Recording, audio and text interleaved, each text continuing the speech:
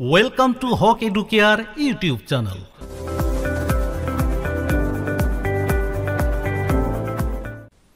আজিৰ ভিডিঅ'ত লৈ আহিছোঁ science class six chapter thirteen fun with magnets অৰ্থাৎ চুম্বকৰ লগত ধেমালি নামৰ চেপ্টাৰটো তো আজিৰ ভিডিঅ'ত আমি চেপ্টাৰ থাৰ্টিন সম্পূৰ্ণৰূপে আলোচনা কৰি চেপ্টাৰত থকা গোটেইখিনি টপিকছ বুজি ল'ম বা গোটেইখিনি ফেক্ট আমি বুজি ল'ম। আজিৰ ভিডিঅ'ত আমি প্ৰশ্ন উত্তৰ আলোচনা নকৰোঁ কাৰণ ছায়েন্স আৰু মেথছৰ ক্ষেত্ৰত চেপ্টাৰটো বুজি লোৱাটো খুবেই দৰকাৰ।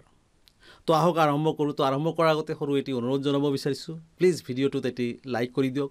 লগতে পৰৱৰ্তী ভিডিঅ'সমূহ নিয়মীয়াকৈ পাবলৈ যদি আপুনি এতিয়াও চেনেলটো ছাবস্ক্ৰাইব কৰা নাই প্লিজ ছাবস্ক্ৰাইব কৰি আমাৰ লগত থাকক। কাৰণ নেক্সট ইয়াৰ যেতিয়া আপোনালোকে ক্লাছ ছেভেনত উঠিব ক্লাছ ছেভেনৰ নতুন ইংলিছ মিডিয়ামত মেথামেটিক্স আৰু ছায়েন্সৰ কিতাপ পাব সেই ছায়েন্স আৰু মেথছৰ উপৰিও অল ছাবজেক্টৰ প্ৰশ্ন উত্তৰ বা প্ৰব্লেমৰ চলিউশ্যন নিয়মীয়াকৈ এই চেনেলত পাই থাকিব। তো আহক আৰম্ভ কৰোঁ। তো এয়া চেপ্টাৰ থাৰ্টিন চেপ্টাৰ থাৰ্টিনত কি আছে? ফান উইথ মেগনেটছ চুম্বকৰ লগত ধেমালি। তো আমি প্ৰত্যেকেই কম বেছি পৰিমাণে চুম্বকৰ লগত ধেমালি কৰোঁ বা চুম্বক পালে সেইটোৰে খেলোঁ। খুব ইণ্টাৰেষ্টিং এটা বস্তু। অৱশ্যে আজিকালি মোবাইলৰ লগতে বেছি ব্যস্ত হৈ থকা হয়। তো পাৰিলে চুম্বকৰ লগতো অলপ খেল ধেমালি কৰিব বহুত বস্তু শিকিব পাৰিব। তো আমি পঢ়ি গৈছোঁ প্ৰথমতে কি কৈছে Prohellica and Progyan went to a place where a lot of waste materials was piled into huge heaps. তো প্ৰহেল্লিকা আৰু প্ৰজ্ঞান প্ৰজ্ঞানে এটা ঠাইত গৈছিল য'ত আৱৰ্জনাৰ দম ৰখা হৈছিল। ঠিক আছে। তো তাতে গৈ কি পালে ইহঁতে? ছামথিং এক্সাইটিং ৱাজ হেপনিং খুব আমোদজনক কিবা এটা ঘটি আছিল। কি ঘটি আছিল? A crane was moving towards the heap of junk. Crane crane অৰ্থাৎ ডাঙৰ হাত থকা জে চি বিৰ নিচিনা এইবিলাক ক্ৰেন বুলি কোৱা হয় তেনেকুৱা এটা গাড়ী আৱৰ্জনাৰ ওচৰত গৈ আছিল। The long hand of the crane lowered a block over a heap. ডাঙৰ হাত সেই ক্ৰেনৰ হাতখন হাতখনৰ পৰা এটা ব্লক অৰ্থাৎ ডাঙৰ এটা ব্লক অৰ্থাৎ ডাঙৰ এটা টুকুৰা কাঠৰ টুকুৰাৰ দৰে হয়তো কিবা এটা পদাৰ্থৰে নিৰ্মিত সেই টুকুৰাটো তলৰ ফালে নমাই দি আছিলে। ঠিক আছে। ক'ত নমাই দি আছিলে? সেই আৱৰ্জনাৰ সোপৰ ওপৰত হিপৰ ওপৰত বা দমৰ ওপৰত হিপৰ অৰ্থ দম য'ত জমা কৰি ৰখা হয়। It then began to move তাৰপিছত ই লাহে লাহে লাহে লাহে আগুৱাই গৈ আছিল। গেছ হোৱাট এতিয়া অনুমান কৰা কি কি হৈ আছে। মেনি পিচেছ অফ আইৰণ অৰ্থাৎ ল' junk white sticking to the block বহুত ল'ৰ টুকুৰা সেই যিটো ব্লক ডাঙৰ এটা ল'ৰ টুকুৰা বা তেনেকুৱা এটা পদাৰ্থৰ টুকুৰা যিটো আগুৱাই দিছিলে দমৰ ওপৰত সেই দমৰ লগত ল'ৰ টুকুৰাবোৰ ষ্টিক কৰি ধৰিলে লাগি ধৰিলে। ঠিক আছে। As it move away. তাৰপিছত ই তাৰ পৰা গুচি গ'ল বা আঁতৰাই নিলে। একচুৱেলি কি কৈছে এইটো চাওক পিকচাৰটো নিশ্চয় পিকচাৰটো দেখিছে? এইটো পিকচাৰৰ কথা কৈছে। এইটো এটা ক্ৰেন হয় জে চি বিৰ দৰে। দীঘল হেণ্ড ক্ৰেনৰ দ্বাৰা গাড়ী চাড়ী ক'ৰবাত পৰিলে উঠায়। নিশ্চয় দেখিছে। তো ইয়াৰ লগত এইটো। ব্লকটো একচুৱেলি কি কৈছে প্ৰজ্ঞানে এইটোৰ কথা কৈছে খুব এটা আমোদজনক ঘটনা সিহঁতে দেখিছে। কি দেখিছে এইটোৱেতো দেখা নাই। মই আপোনালোকক দেখুৱাইছোঁ হয়তো হ'ব পাৰে হয়। প্ৰজ্ঞান আৰু প্ৰহল্লিকাই এইটোৱে দেখিছে চাওক। এইটো ক্ৰেইন হয় এইটো ডাঙৰ হাত এইটো ব্লকৰ কথা কৈছে এইটো আৱৰ্জনাৰ দম চাইছেনে? এতিয়া কি হয় চাওক চাই থাকক। প্ৰজ্ঞান আৰু প্ৰহল্লিকাই এইটোৰ কথা কি কৈ আছে আমোদজনক এক্সাইটিং কিবা এটা এই চাওক আগুৱাই দি আছে আগুৱাই দি আছে এইটো ব্লকটো কি হ'ল এতিয়া? এইবোৰ কি হ'ল? চাওক ল'ৰ টুকুৰাবোৰ এই আৱৰ্জনাৰ পৰা যিবোৰ ল'ৰ টুকুৰা আছে গোটেইকেইটা লাগি ধৰিলে ষ্টিকিং ষ্টিক অৰ্থাৎ ইংলিছত ষ্টিকিং লিখা আছে অৰ্থাৎ লাগি ধৰিলে। চিপ যিটো চিপক যোৱা হিন্দীত ক'ব ঠিক আছে? হা আঁতৰাই নিলে তাতে এৰি দিব। অকল ল'ৰ আৱৰ ল'ৰ ল' জাতীয় বস্তুবোৰ চুম্বকীয় পদাৰ্থবোৰ সেই ইয়াত লাগি ধৰিব চাওক আকৌ আকৌ এবাৰ এইটো চাওক। বাকী প্লাষ্টিক যিবোৰ অচুম্বকীয় পদাৰ্থ আছে সেইবোৰ ইয়াতে লাগি নধৰে তো এই হৈছে ফেক্ট যিটো ফেক্ট প্ৰহল্লিকা আৰু চাওক আকৌ এবাৰ ব্লকটো নমাই দিছে এইটো কৈছে মুভ ফৰৱাৰ্ড তাৰপিছত কি হ'ল ল' জাতীয় পদাৰ্থবোৰ ইয়াতে লাগি ধৰিলে ষ্টিকিং লাগি ধৰি আছে তাৰপিছত ই লাহে লাহে লাহে লাহে লাহে লাহে লৈ গৈ গৈ গৈ গৈ আন এটা ঠাইত এৰি দিছে। তো নিশ্চয় এইটো দেখি আৰু যি ভিডিঅ'টো আপোনালোকে দেখিলে নিশ্চয় বুজি পাইছে যে প্ৰহেলিকা আৰু প্ৰজ্ঞানে কি দেখিলে। আমিও আপোনালোকক দেখুৱাই দিলোঁ। তো আহক আগলৈ ইয়াতে কি কৈছে যে picking up pieces of iron from waste আৱৰ্জনাৰ পৰা ল' জাতীয় পদাৰ্থবোৰ ওপৰলৈ তুলি আছে। তো তাৰপিছত কি আছে যে আমি পঢ়ি যাওঁ। They had just read a very interesting book on magnet অৰ্থাৎ চুম্বক। And knew immediately that there must be a magnet attached to the end of the crane that was picking up iron from the junkyard তাৰপিছত ইহঁতে সেই এই ভিডিঅ'টো যিটো আপোনালোকক দেখুৱালোঁ তেনেকুৱা এটা ফেক্ট ইহঁতে ভিডিঅ' দেখা নাই। ইহঁতে নিজ চকুৰে অৰিজিনেল ক্ৰেইনটো দেখি আহিছে। আৰু কিতাপ এখন পঢ়িলে সেই কিতাপৰ পৰা জানিব পাৰিলে ইণ্টাৰেষ্টিং কথা আমোদজনক কথা এইটোৱে জানিব পাৰিলে যে সেই যে ব্লকটোৰ কথা কৈছে ব্লকটোত চুম্বকজাতীয় পদাৰ্থৰে বনোৱা অৰ্থাৎ চুম্বকেৰে বনোৱা আৰু সেই চুম্বকে জৰিয়তে চুম্বকৰ জৰিয়তে ক্ৰেইনত এটাচ এটাচ কৰি আৱৰ্জনাৰ দমত যিবোৰ ল' জাতীয় পদাৰ্থ আছে সেই ল' জাতীয় পদাৰ্থবোৰ ইহঁতে ছেপাৰেট কৰি আছে বা পৃথক কৰি আছে ঠিক আছে? তাৰপিছত কি কৈছে? You might have seen magnets and have even enjoyed playing with them নিশ্চয় আপোনালোকে চুম্বক দেখিছে। Have you seen sticker sticker দেখিছে। That remains attach to iron surfaces like আলমিৰা or the doors of refrigerator refrigerator বা কিছুমান আলমিৰা আছে য'ত ষ্টিকাৰ থাকে। ষ্টিকাৰ একচুৱেলি মেগনেট চাব আপোনালোকে যদি বিশেষকৈ হয়তো কিছুমান আলমাৰীত হয়তো নাথাকিব পাৰে কিন্তু নিশ্চয় আপোনালোকে ফ্ৰিজ দেখিছে ৰেফ্ৰিজেৰেটৰ দেখিছে ৰেফ্ৰিজেৰেটৰৰ দুৱাৰখন খুলিলে অলপ অলপ বল লাগে শক্তি অলপ লাগে তাৰপিছত খোলা খায়। খোলাৰ পিছত কিন্তু একেবাৰে সহজতে ই মুভ কৰে। তাৰপিছত যেতিয়া এৰি দিব লাহেকৈ গৈ পেলাই ই কিন্তু লাগি ধৰে আঠাৰ দৰে লাগি ধৰে ষ্টিকাৰ তাতে একচুৱেলি মেগনেট দিয়া আছে। এফালে মেগনেট আছে আনফালে ল' জাতীয় পদাৰ্থ আছে। গতিকে ল' আৰু মেগনেটে বা দুয়োফালে মেগনেট দিয়া আছে একেলগে লাগি থাকে। ঠিক আছে আৰু আমি যেতিয়া দুৱাৰখন টানি দিওঁ তেতিয়া অলপ বল লাগে। অৰ্থাৎ মেগনেটে লাগি ধৰি আছিল। যেনেকৈ ইয়াতে মেগনেটে কি কৰিছে ল' জাতীয় পদাৰ্থবিলাক মানে আকৰ্ষণ কৰি ধৰি ৰাখিছে। ঠিক তেনেকুৱা এটা ফেক্ট বা তেনেকুৱা এটা এৰেঞ্জমেণ্ট দিয়া আছে ক'ত? আমাৰ ৰেফ্ৰিজেৰেটত in some pin holder pin in some pin holders the pin pin seems to be sticking to the holder in some pencil boxes the lids fit তো এইখিনি বুজি ল'ম যে কিছুমান পিন হোল্ডাৰত পিন ৰখা কিছুমান হোল্ডাৰ আছে য'ত মেগনেট থাকে তাতে সেই পিনবিলাক এনেকৈ থৈ দিলে পিনবিলাক লাগি থাকে পৰি নাযায়। ঠিক আছে? আমি যেতিয়া এটা পিনৰ দৰকাৰ পৰে তেতিয়া আমি এটা পিন টানি লওঁ হাতেৰে তো তাতে পিনবিলাক লাগি ধৰি থাকে তো পিন হোল্ডাৰ থাকে। আৰু জেমেটি বাকচত আমাৰ জেমেটি বাকচবোৰতো কেতিয়াবা তেনেকুৱা ব্যৱহাৰ কৰা হয়। চাব কিছুমান জেমেটি বাকচ আছে আপোনালোকৰে বা পেঞ্চিল বাক বাকচ পেঞ্চিল বক্স বুলি কোৱা হয়। তাতে এনেকৈ ওপৰৰ পৰা এৰি দিয়াৰ লগে লগে টপ কৰি লাগি ধৰে। আকৌ যেতিয়া আমি খুলিব খোজোঁ এনে ওলোটাই ধৰিলে কিন্তু নুখুলে। অলপ বল দি টানিব লাগে। অৰ্থাৎ তাতে কি কৰা আছে মেগনেট এটা মেগ তলতো মেগনেট আছে ওপৰতো মেগনেট আছে দুটা লাগি ধৰি আছে। তাতে কিন্তু কোনো হুক চুক একো নাই। কিন্তু বিৰাট টাইট তাতে মেগনেট দিয়া থাকে। আমি জোৰকৈ খুলিব লাগে। তো নিশ্চয় বুজি পাইছে এই কথাখিনি ইয়াতে কৈছে। ইয়াতে এক্সাম্পলছ দিয়া আছে। ছবিবোৰ যিমান আমি আলোচনা কৰিলোঁ। টাইটলি হয় উই ক্ল'জ চাওক এই পেঞ্চিল বক্সটোৰ কথা কৈছে। এই এই কলা অংশটো মই য'ত এইটো দেখুৱাই আছোঁ। ইয়াতে এটা মেগনেট আছে ইয়াতে এটা মেগনেট আছে। বাকী কোনো হুক একো নাই। যেতিয়া আমি বন্ধ কৰোঁ তেতিয়া এই মেগনেট আৰু এই মেগনেট দুটা লাগি ধৰি থাকে। আৰু সহজতে নুখুলে বল দিব লাগে।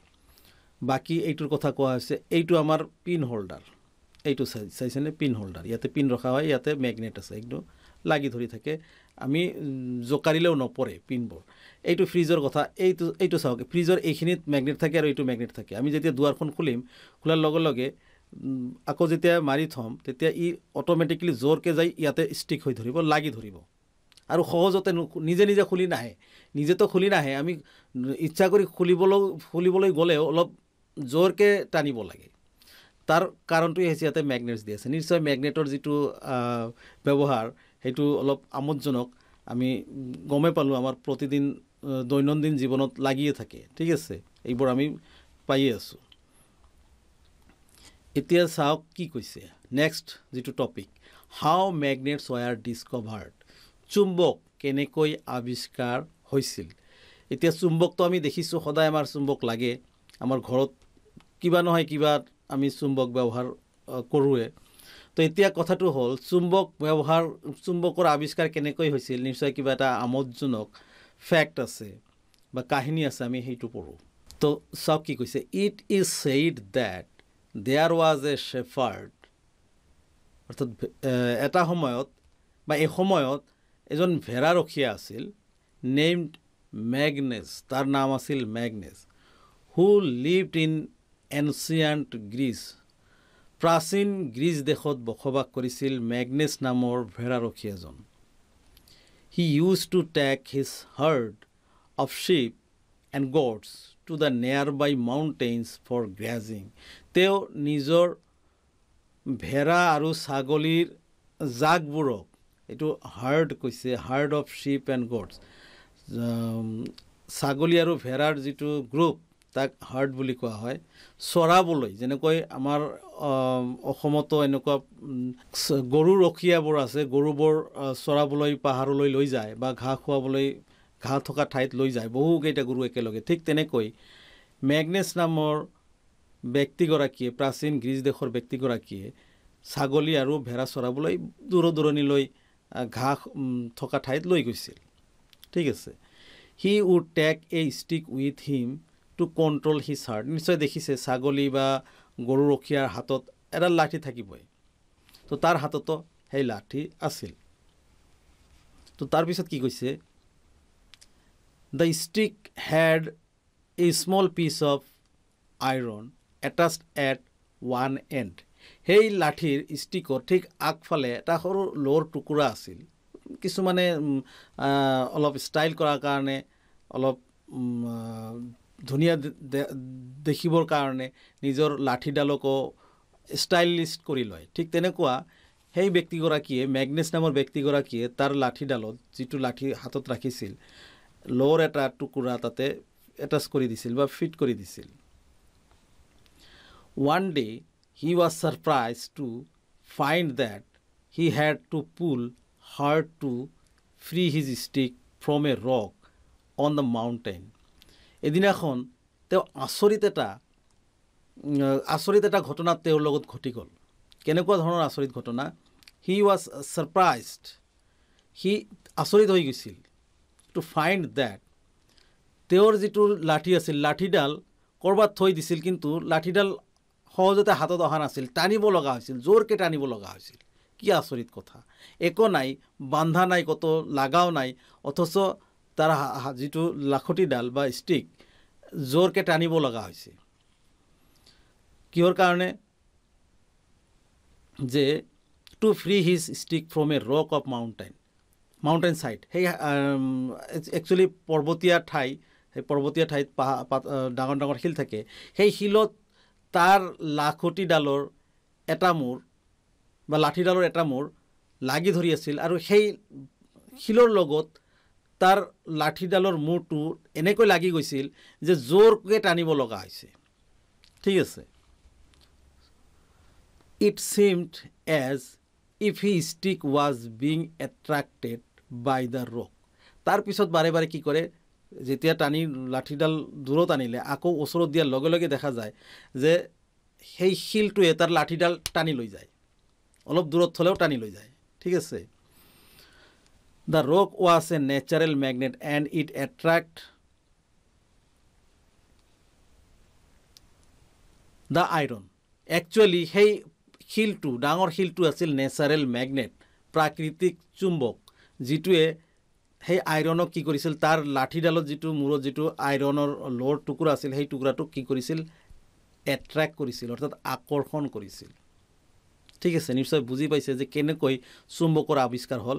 তো আমি বাকীখিনি চাম আমি নেক্সট পেজত এইটো চাওক। এই কাহিনীটো মেগনেছ নামৰ এই এই চাওক ব্যক্তিগৰাকী ভেড়া আৰু ছাগলী চৰাবলৈ গৈ পেলাই এইবোৰ ভেড়া ছাগলী এই শিলত তাৰ লাঠিডালৰ মূৰত ইয়াতে কি আছে? লৰ টুকুৰা লগোৱা আছে আৰু এই শিলত লাগি ধৰিছে। ই টানি টানি এইটোক এৰাবলৈ যত্ন কৰিছে।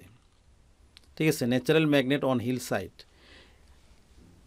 তো ইয়াতে কৈছে যে লৰ আইৰণক আকৰ্ষণ কৰিছে tip of the shepherd stick তাতে আমি পালোঁ ইতিমধ্যে যে এই শিল শিলে তেওঁৰ লাঠিৰ যিটো টিপ আছিল আইৰণেৰে বনোৱা বা লৰে বনোৱা টিপ মানে মূৰৰ যিটো অংশ এইটো লাগি ধৰিছে তাৰ লাঠিৰ it is said that this is how natural magnets were discovered আৰু এইটো এটা কথা আছে যে এনেকৈয়ে প্ৰথম যিটো মেগনেট প্ৰাকৃতিক চুম্বক আৱিষ্কাৰ হৈছিল এনেধৰণে।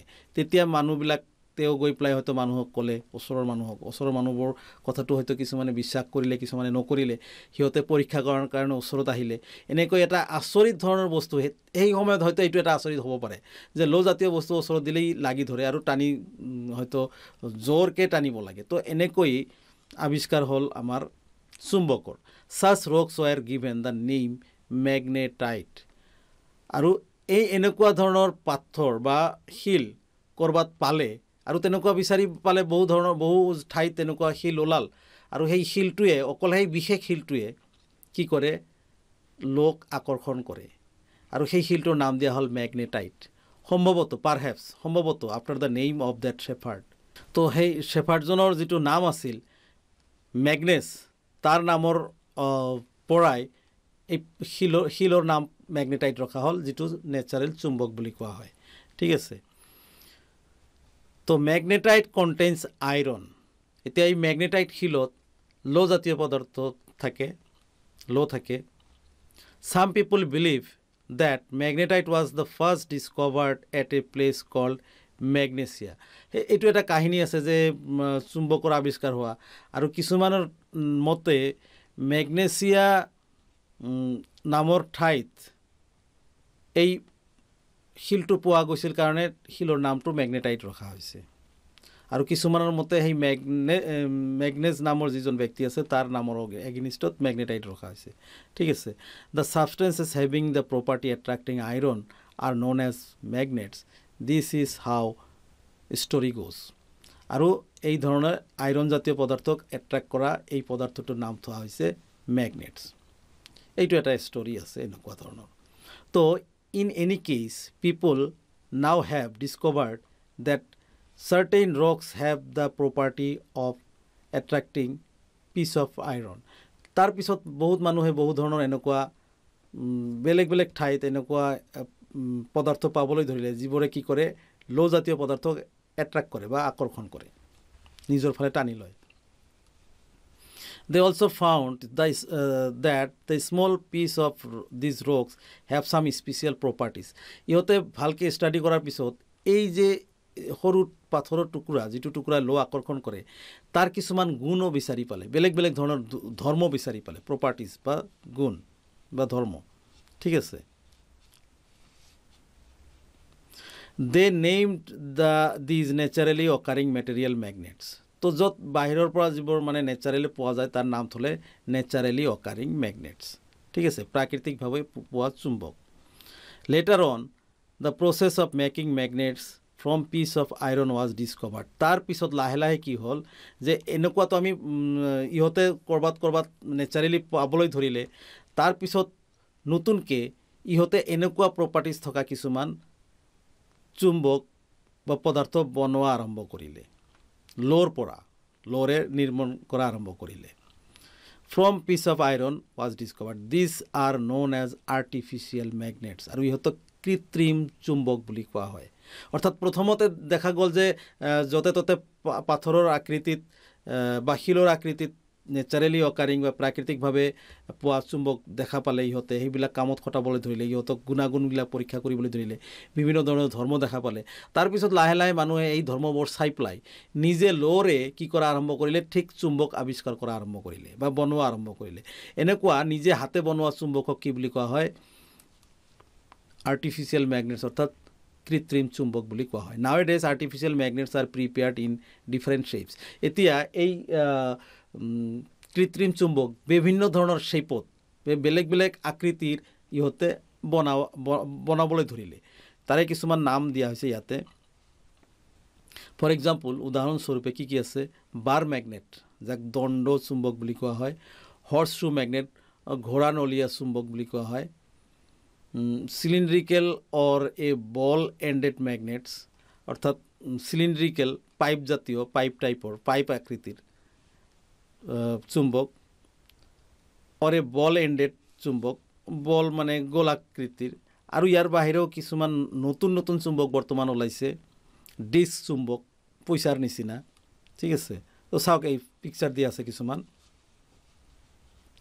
এইটো এইটো হৈছে বাৰ মেগনেট যিটো দণ্ড দণ্ড চিত্ৰ চৰি কি কৈছে ইয়াতে আছে আপোনাৰ। বাৰ মেগনেট এইটোৰ কথা কৈছে। এইটো বাৰ মেগনেট হ'ল এইটো। এইটো বাৰ মেগনেট। তাৰপিছত চিলিণ্ড্ৰিকেল মেগনেট যিটো আছে এইটো চিলিণ্ডাৰৰ দৰে পাইপৰ দৰে ঠিক আছে। তাৰপিছত বল এণ্ডেড এইটো দুইফালে বল বলৰ নিচিনা গোলাকৃতিৰ। আৰু এইটো হ'ল হৰ্চ শ্বু হৰ্চ শ্বুটো আমি আগতে ক'ৰবাত পাইছিলোঁ নেকি? অঁ হৰ্চ শ্বুটো ইয়াতে হৰ্চ শ্বু মেগনেট এইটো ঘোঁৰা নলীয়া চুম্বক। ঘোঁৰাৰ খুৰাত লৰে নিৰ্মিত ঠিক এনেকুৱা এটা আকৃতিৰ বস্তু লগাই দিয়া হয় যাক হৰ্চ শ্বু বুলি কোৱা হয় ঠিক আছে। তো এইকেইটা আছে। ইয়াৰ বাহিৰে কইনৰ দৰে কিছুমান আছে। তাৰপিছত অভেল আকৃতিৰ আছে ডিম্বাকৃতিৰ তো এনেকুৱা বহু ধৰণৰ আকৃতিৰ চুম্বক আজিকালি পোৱা যায়। ঠিক আছে? তো বিভিন্ন বিভিন্ন আকৃতিৰ চুম্বক। তো এইকেইটা আপোনালোকে মুঠতে মুখস্থ ৰাখিব যে বিভিন্ন প্ৰকাৰৰ চুম্বকৰ যদি উদা উদাহৰণ আহে তেনেহ'লে আপোনালোকে কি ক'ব bar magnet horse magnet chilli cylindrical magnet ball ended magnet. ঠিক আছে? তো আহক এতিয়া নেক্সট চাইছোঁ। নেক্সট টপিকত কি কৈছে? এটা এক্টিভিটি দি আছে। এটা এক্টিভিটিত কি কৈছে যে মই ডিটেইলছত গ'লে অলপ সময় ল'ব শ্বৰ্টকাটত এইখিনি বস্তু মই বুজাই দি আছোঁ এক্টিভিটিটো আপোনালোকে পঢ়িলে বুজি পাব যিখিনি মই কথা ক'ম। যে ইয়াতে কৈছে প্লাষ্টিকৰ পেপাৰ এটা কাপ লৈ পেলাই সেই কাপৰ ওপৰত যদি আপোনালোকে এটা চুম্বকৰ টুকুৰা দি পেলাই তলত ছেফটি পিন বা পেপাৰ ক্লিপ যদি এটা সূতাৰ লগত বান্ধি সেই গ্লাছৰ তলত ৰখা হয় তেনেহ'লে শূন্যতে হাৱাতে বা বতাহতে সেই বস্তুটো ছেফটি পিনটো থিয় হৈ থাকে ওলমি থাকে তলত পৰি নাযায়। তো এইটো এক্টিভিটি আপোনালোকে নিজে ঘৰত কৰিব পাৰে। তো এক্টিভিটিটো এবাৰ দেখুৱাই দি দিছোঁ। প্ৰথমতে এইটো চাওক পৰীক্ষাটো কৰিছে চাওক। এইটো স্কুলৰ লেবৰেটৰীত এইটো পৰীক্ষা কৰিছে। হয়তো আপোনালোকে ঘৰত এনেকুৱা লেবৰেটৰীৰ বস্তু নাথাকিব পাৰে কিন্তু গ্লাছটোতো পাব। লগতে চাওক এই চুম্বক পাব। চুম্বক য'তে ত'তে পোৱা যায়। বজাৰত গ'লে ইলেক্ট্ৰিচিয়ানৰ দোকানবোৰত আপোনালোকে এইটো পাব। পুৰণি হ'লেও পাব। চাওক এইটো পেপাৰ ক্লিপ আছে আপোনালোকে ছেফটি পিন ইউজ কৰিব পাৰে। ছেফটি পিন সকলোৰে তাতে থাকে ঘৰত থাকে। এইটো চাওক একচুৱেলি লাগি ধৰা নাই। এইটো কিন্তু সূতা এইটো কোনো লৰ লৰ বস্তু দণ্ড নহয়। ই এট্ৰেকশ্যন কৰি থকাৰ কাৰণে এইটো ল'ৰ কাৰণে ই এট্ৰেকশ্যন কৰি আছে আৰু বতাহতেই কিন্তু উৰি আছে ওলমি আছে। চাইছেনে? আৰু এটা ভিডিঅ' চাওক এইটো ভালদৰে বুজি পাব। এইটোতো আমাৰ লেবৰেটৰীৰ বস্তু ইউজ কৰিছে যদিও আমাৰ ঘৰত লেবৰেটৰী নাই। তো আমি হাতেৰে কেনেকৈ ইয়াক বনাব পাৰোঁ আৰু এটা ভিডিঅ' চাওক। এইটো। এইটো চাওক। কাপ এটা লোৱা হৈছে। কাপত মেগনেটটো দিয়া হ'ল। ঠিক আছে আমি ইফালে পেপাৰ ক্লিপ বা ইয়াৰ ঠাইত আপোনালোকে ছেফটি পিন ইউজ কৰিব পাৰে। ছেফটি পিনত এটা মূৰত কি? সূতাডালৰ এটা মূৰত বান্ধি লোৱা হ'ল। ঠিক চিত্ৰত দেখুওৱা ধৰণে একেবাৰে সহজ বস্তু। পৰীক্ষাটো আপোনালোকে ঘৰত গৈ আজিয়ে কৰিব পাৰে। চাওক ভালকৈ বান্ধি লওক সূতাৰ এডাল মূৰত এডাল সূতাৰ এটা মূৰত বন্ধা হ'ল। এতিয়া চাওক ইয়াতে প্ৰথমতে লগাই দিয়ক ঠিক আছে? গ্লাছটো হাতত লওক গ্লাছত মেগনেট আছে এতিয়া লাহেকৈ এইটো টানি দিয়ক বাছ। চাওক এতিয়া কিন্তু গ্লাছৰ পৰা বহুত আঁতৰত আহিছে দেই দূৰত আছে। তথাপি ওলমি আছে এইটো অলপ বেছিকৈ টানিলে তলত পৰি যাব আৰু এবাৰ চাওক। এটা অপ্টিমাম ডিষ্টেঞ্চত ইয়াক ৰাখিব লাগিব। তেতিয়াহ'লে এইটো মানে যুগ যুগ ধৰি তেনেকৈ থিয় হৈ থাকিব। ই কেতিয়াও মাটিত বাগৰি নপৰে এই এই পিনডাল। ঠিক আছে? চাওক বতাহতে ওলমি আছে। যদি ডিষ্টেঞ্চটো বা দূৰত্বটো আপোনালোকে ঠিক ভালদৰে এবাৰ বনাই পেলাই যদি থিয় কৰি থৈ দিয়ে তেনেহ'লে কি হ'ব? ই অট'মেটিকেলি তেনেকৈ হ'ল লাইফ কিন্তু থাকিব দেই। ই পৰি নাযায়। অথচ এডাল সূতাৰ ওপৰত কিন্তু ই ওলমি আছে। বতাহত। ঠিক আছে তো নিশ্চয় বুজি পাইছে।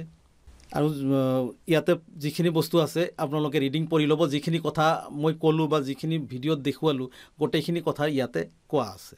ঠিক আছে এই এক্টিভিটিটো দিয়া আছে। এতিয়া চাওক নেক্সট যিটো টপিক আছে thirteen point one magnetic and non magnetic materials অৰ্থাৎ চুম্বকীয় আৰু অচুম্বকীয় পদাৰ্থ। তো এটা এক্টিভিটি দিয়া আছে য'ত সেই মেগনেছৰ কথা কৈছে যে মেগনেছে যেতিয়া ভেড়া চলাবলৈ গৈছিল তাৰ কথাটোৱে কৈছে যে তাৰ ষ্টিকটো বা মানে যিটো লাঠি আছিল সেই লাঠিডালত যিটো পদাৰ্থ আছিল বা ল' আছিল সেই ল'টো লাগি থকা যিটো শিল সেই শিলটো লৈ পেলাই এতিয়া কি কি পদাৰ্থৰ ওপৰত দিলে এই এইটো আকৰ্ষণ কৰে বা টানে নিজৰ ফালে আকৰ্ষণ কৰি লয় সেই ধৰণৰ পদাৰ্থ এটা গ্ৰুপত ৰখা হৈছে আৰু যিটো পদাৰ্থ ই লাগি নধৰে তাত কোনো এফেক্ট নকৰে সেইটো এক ধৰণৰ মানে গ্ৰুপত ৰখা হৈছে। আৰু এই দুটা গ্ৰুপৰ নাম দিয়া হৈছে ইয়াতে যে মেগনেটিক যিবোৰ মেগনেটে মেগনেটে যিবোৰ পদাৰ্থক আকৰ্ষণ কৰে তাক মেগনেটিক ছাবষ্টেঞ্চ বা চুম্বকীয় পদাৰ্থ বুলি কোৱা হয়। আৰু যিবোৰ বস্তুক মেগনেটে আকৰ্ষণ নকৰে তাক নন মেগনেট নন মেগনেটিক অৰ্থাৎ অচুম্বকীয় পদাৰ্থ বুলি কোৱা হয়। নিশ্চয় আপোনালোকে বুজি পাইছে। তো আহোঁ আমি নেক্সট পেজত page number one hundred twenty টুত তো এইটো page number one hundred twenty two এইটো পেজতো আমাৰ ওপৰত যিটো এক্টিভিটি আমি সেইটো পেজত চাই আছিলোঁ যে চুম্বকে লাগি ধৰা চুম্বকে আকৰ্ষণ কৰা আৰু চুম্বকে আকৰ্ষণ নকৰা পদাৰ্থৰ ওপৰত ইয়াতে কিছুমান এক্সাম্পলছ দি আছে এইবোৰ আপোনালোকে চাব। We understand that magnets attract certain materials are some do not get attracted towards magnets তো আমি বুজি পালোঁ যে কিছুমান পদাৰ্থক চুম্বকে আকৰ্ষণ কৰে কিছুমানক নকৰে। The materials which get attracted towards a magnet are called magnetic তো যিবোৰ ছাবষ্টেঞ্চক বা পদাৰ্থক চুম্বকে আকৰ্ষণ কৰে তাক মেগনেটিক ছাবষ্টেঞ্চ অৰ্থাৎ চুম্বকীয় পদাৰ্থ বুলি কোৱা হয়। চুম্বকীয় পদাৰ্থৰ উদাহৰণ বা এক্সাম্পল খুবেই জৰুৰী এইকেইটা আপোনালোকে মনত ৰাখিব। কি কি পদাৰ্থক চুম্বকে আকৰ্ষণ কৰে? আইৰণ অৰ্থাৎ ল' নিকেল নিকেল এটা পদাৰ্থ এটা মেটেল অৰ কোবাল্ট কোবাল্টো এটা মেটেল হয় বা ধাতু হয়। তো এই তিনি ধৰণৰ বস্তুক বা পদাৰ্থক মেইনলি চুম্বকে আকৰ্ষণ কৰে। The material which are not attracted towards a magnet are called non magnetic অৰ্থাৎ অচুম্বকীয়। চুম্বকে যিবোৰ পদাৰ্থক আকৰ্ষণ নকৰে তাক নন মেগনেটিক অৰ্থাৎ অচুম্বকীয় পদাৰ্থ বুলি কোৱা হয়। তো কি কি আছে চব নিশ্চয় বুজি পাইছে। What material did you find be non magnetic তো আপোনালোকে কি কি বস্তু পাইছে তেনেকুৱা যেনেকুৱা মাটি আকৰ্ষণ নকৰে বা কাঠ আকৰ্ষণ নকৰে। তো আমি এক্সাম্পলত কি কি দিব পাৰোঁ সেইবোৰে দিব পাৰোঁ। উড প্লাষ্টিক ঠিক আছে। পেপাৰ তেনেকুৱা তিনিটা বা চাৰিটামান এক্সাম্পল আমি দিব পাৰোঁ। ক্লথ য'ত কোনো ধৰণৰ মেটেল এই তিনিটা তিনি ধৰণৰ ধাতু নাথা নথকা পদাৰ্থ হ'লে চুম্বকে কি নকৰে? সাধাৰণতে আকৰ্ষণ নকৰে। তো আহক আমি নেক্সট এক্টিভিটি থ্ৰী তিন নাম্বাৰ এটা এক্টিভিটি বা ক্ৰিয়াকলাপ দিয়া আছে। ইয়াতে কি কৈছে যে ৰাব অৰ্থাৎ ঘঁহা এই magnet in a sand or soil বালিত এটা মেগনেটৰ টুকুৰা আপোনালোকক ঘঁহি থাকক। ঘঁহাৰ পিছত এইটো মাটিৰ লগত মানে ভালদৰে ঘঁহাৰ পিছত ওপৰত উলিয়াই লৈ আহক।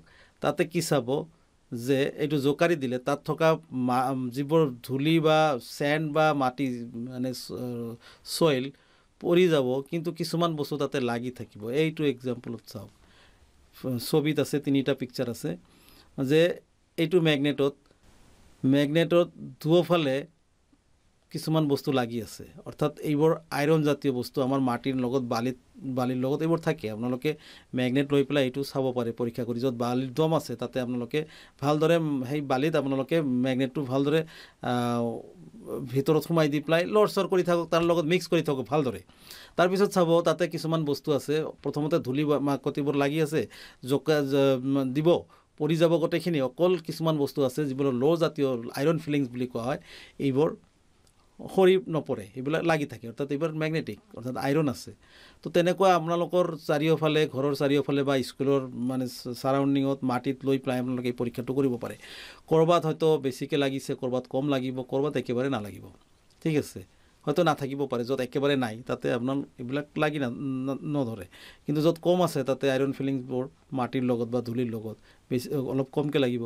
য'ত বেছি আছে অলপ বেছিকৈ লাগিব। আৰু এটা কথা মনত ৰাখিব চুম্বকৰ দুটা মেৰু থাকে এইটো হয়তো পিছত পাব। এটা নৰ্থ পল এটা চাউথ পল অৰ্থাৎ উত্তৰ মেৰু আৰু দক্ষিণ মেৰু।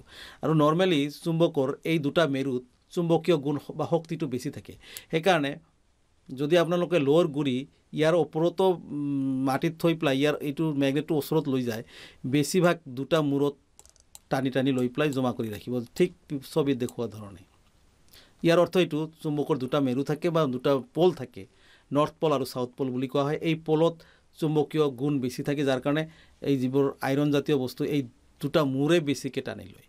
দুটা মেৰুৱে বেছিকৈ টানে। ঠিক আছে। তো এইটো আমি চালোঁ। নেক্সট ইয়াতে এটা টেবিল দি আছে টেবিলত কি কৈছে? আইৰণ বল কি দি বনাইছে? ল' দি এইটো এটা কি? চুম্বকীয় হয়নে নহয়? হয় য়েছ প্লাষ্টিক চুম্বকীয় নহয় ন' শ্বু কি দি বনাইছে? স্কেলটো স্কেলটো প্লাষ্টিকেদি বনোৱা গতিকে ই অচুম্বকীয়। ইয়াতে তিনিটা বস্তু নাম কৈছে আইৰণ বল স্কেল আৰু শ্বু তো আইৰণ বলটো চুম্বকীয় হয় য়েছ মেগনেটিক ছাবষ্টেঞ্চ স্কেলটো প্লাষ্টিকেদি প্লাষ্টিকেদি বনোৱা ই নন মেগনেটিক অৰ্থাৎ ন' মেগনেটিক ইয়াতে ন' দি আছে মানে মেগনেটিক নহয়। তাৰপিছত শ্বু জোতা কি দি বনাইছে? চামৰা দি। চামৰা এটা নন মেগনেটিক অৰ্থাৎ মেগনেটিক নহয় গতিকে ইয়াতে আমাৰ কি হ'ব? ন' হ'ব। ঠিক আছে। তো এইটো আছিল page number one hundred twenty টুত আমি পঢ়িবলগীয়া কথা। এতিয়া চাওক আহক page number one hundred twenty three তো ইয়াতে এটা টেবিল দিয়া আছে টেবিলটো thirteen point two magnet raft in sand how many iron filings এতিয়া যিটো এক্সাম্পলৰ কথা অলপ আগতে মই কৈছিলোঁ যে ইয়াৰ আগৰ পেজত যে চুম্বকবোৰ মানে মাটিত ঘঁহিলে বা মাটিত পেলাই পেলাই ইফাল সিফাল অলপ কৰিলে তাতে কিছুমান ঠাইত দেখা যায় যে আইৰণৰ টুকুৰা বা ল'ৰ টুকুৰা তাতে লাগি ধৰে কিছুমানত বেছিকৈ লাগে কিছুমানত কমকৈ লাগে। সেই পৰীক্ষাটো আপোনালোকক কৰি পেলাই এই টেবিলত লিখিব কৈছে। যে আপোনালোকে তিনিটা ঠাইত যাওক। তিনিটা ঠাইত আপোনালোকে চাওক যে চুম্বকটো দি পেলাই প্ৰথম এটা ঠাই আছে তাতে আপোনালোকে চুম্বকৰ এক্সপেৰিমেণ্টটো কৰক। আৰু তাৰপিছত চাওক যে আইৰণ ফিলিংছ কিমানটা পালে। নেক্সট আৰু এটা ঠাইত যাওক তাতেও ঠিক একেধৰণৰ কৰক আইৰণ ফিলিংছ কিমান পালে। তাৰপিছত চাওক নেক্সট এটা ঠাইত আন এটা ঠাইত যাওক তাতে সেই একে এক্সপেৰিমেণ্ট কৰক কৰি পেলাই চাওক আইৰণ ফিলিংছ কিমানটা থাকে। হয়তো চাব তিনিওটা ঠাইত একে ধৰণৰ একে সংখ্যক আইৰণ ফিলিংছ সেই চুম্বকত লাগি নধৰিব পাৰে। বেলেগ ঠাইত বেলেগ বেলেগ আছে। তিনিটা ঠাইত বেলেগ বেলেগ হ'ব। এই পৰীক্ষাটো আমাক কৰিব দিছে। ঠিক আছে এতিয়া চাওক next topic topic number thirteen point two poles of magnets অৰ্থাৎ চুম্বকৰ মেৰু। তো ইয়াতে অলপ আগতে মই কৈছোঁ চুম্বকৰ দুটা মেৰু থাকে বা দুটা পল থাকে। মূৰক মেৰু বুলি কোৱা হয়। তো এটা উত্তৰ মেৰু দক্ষিণ মেৰু অৰ্থাৎ নৰ্থ পল ছাউথ পল বুলি কোৱা হয়। আগতীয়াকৈ কৈ আছোঁ। যেতিয়া অলপ আগতে মই যিটো পিকচাৰত দেখুৱাইছোঁ যে আইৰণৰ এটা এক্সপেৰিমেণ্ট দেখুৱাই দিছোঁ আপোনালোকক। চুম্বকৰ মেৰু কেনেকুৱা থাকে বা কিয় মেৰু একচুৱেলি আমি কেনেকৈ ডিটেক্ট কৰিব পাৰোঁ তাৰ এটা ভিডিঅ' দেখিলে বুজি পাব। তো ইয়াৰ চাওক এটা পেপাৰত কি লোৱা হৈছে বা ট্ৰেত চুম্বক লোৱা হৈছে। এটা চুম্বকৰ দুটা মেৰু থাকে ইতিমধ্যে কোৱা হৈছে ছাউথ পল আৰু নৰ্থ পল দক্ষিণ মেৰু উত্তৰ মেৰু। তো এই চুম্বকত দুটা যে মেৰু আছে একচুৱেলি মেৰু কিয় কোৱা হৈছে আমি কেনেকৈ ডিটেক্ট কৰিব পাৰোঁ? সেই এইটো ইয়াতে এটা এক্সপে- এক্সপেৰিমেণ্ট কৰা হৈছে। তো এটা এক্সপেৰিমেণ্ট চাওক। আইৰণ ফিলিংছ অৰ্থাৎ ল'ৰ টুকুৰা। যেতিয়া হেক্সদি আইৰণ ল' কটা হয় তেতিয়া তলত গুৰি থাকে আইৰণৰ গুৰি ল'ৰ গুৰি হয় এইবোৰ। ওপৰৰ পৰা এৰি দিয়া হৈছে। ওপৰৰ পৰা এৰি দিলেও চাওক কি কৰিছে। এটা নিৰ্দিষ্ট লুপত ল'ৰ গুৰিবোৰ সেইটোত এট্ৰেক্ট এট্ৰেক্ট কৰিছে। তাৰে মাজত চাওক এইটো দেখিলে গম পাব। দুটা যে মূৰ আছে এই মূৰত কিন্তু আটাইতকৈ বেছি সংখ্যক আইৰণৰ গুৰিবোৰ লাগি ধৰিছে। তো এয়া একচুৱেলি মেৰু ঠিক আছে? তো এই মেৰুৰ কথাটো তাতে কোৱা হৈছিল যে আইৰণৰ দুটা মেৰু থাকে। চৰি চুম্বকৰ দুটা মেৰু থাকে উত্তৰ মেৰু আৰু দক্ষিণ মেৰু। উত্তৰ মেৰু আৰু দক্ষিণ মেৰু কোৱাৰ আৰু এটা কাৰণ আছে সেইটো বেলেগ এটা এক্সপেৰিমেণ্টৰ পৰা আমি বুজি ল'ম। বৰ্তমানে দুটা মেৰু আছে সেই মেৰু দুটা আমি জানিব লাগে যে এটা আইৰণৰ চৰি এটা চুম্বকৰ দুটা মূৰ থাকে আৰু সেই দুটা মূৰক কি বুলি কোৱা হয়? মেৰু বুলি কোৱা হয়। ইংলিছত পল বুলি কোৱা হয় নৰ্থ পল আৰু ছাউথ পল। এতিয়া নৰ্থ পল আৰু ছাউথ পল কিয় কোৱা হয়? সেইটো নাম কিয় দিয়া হৈছে সেইটো বেলেগ। পিছত এটা টপিকছত বা এটা ভিডিঅ'ত আমি পাম। তো এইটো চাওক। তো এই এই টপিক্সটো পঢ়ি আছিলোঁ আমি চুম্বকৰ মেৰু।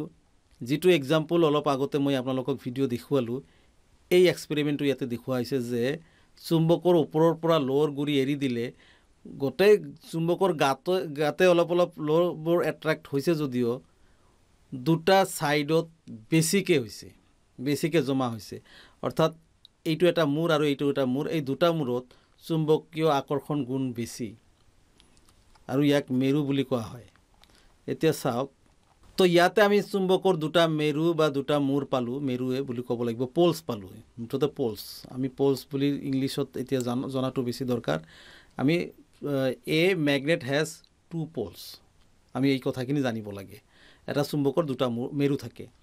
এতিয়া থাৰ্টিন পইণ্ট থ্ৰী নাম্বাৰ টপিক্সত আমি ভালদৰে আৰু এটা টপিক্স পাম ইয়াতে ফাইণ্ডিং ডিৰেকশ্যনছ দিশ নিৰ্ণয়। চুম্বকৰ সহায়ত কেনেকৈ দিশ নিৰ্ণয় হয়? ঠিক আছে ইয়াতে এটা ষ্টৰি দিয়া আছে। মেগনেটছ ৱায়াৰ নন টু এইটোৱে কোনো এক্টিভিটি নহয় গতিকে আমি পঢ়াটো দৰকাৰ। এক্টিভিটিবোৰ মই ভিডিঅ'তে দেখুৱাই দিছোঁ কিন্তু যিবোৰ টপিকছ আমি ডিছকাছ কৰিব লগা সেইখিনি কথা আমি ডিছকাছ কৰি যাম। Magnets were known to people from ancient time চুম্বকৰ বিষয়েতো জ্ঞান বহুত আগৰ পৰাই পুৰণি কালৰ পৰাই মানুহে পাই পাই আহিছে। Many properties of magnets were also' known to them মেগনেটৰ বহুত প্ৰপাৰ্টি বা গুণাগুণ সম্পৰ্কেও সিহঁতৰ ধাৰণা বহুত আগতে লৈছে বহুত যুগ আগৰ পৰাই। ঠিক আছে you might have read many interesting stories about uses of magnets নিশ্চয় আপোনালোকে চুম্বকৰ বহু ধৰণৰ ইণ্টাৰেষ্টিং চুম্বকৰ ব্যৱহাৰ সম্পৰ্কে বহু ইণ্টাৰেষ্টিং ফেক্ট বা ঘটনা আপোনালোকে শুনিছে বা পঢ়িবলৈ পাইছে কিতাপত। One such story is about an emperor in China named হোৱাং Ti বা হোৱাং টি হোৱাং টি নামৰ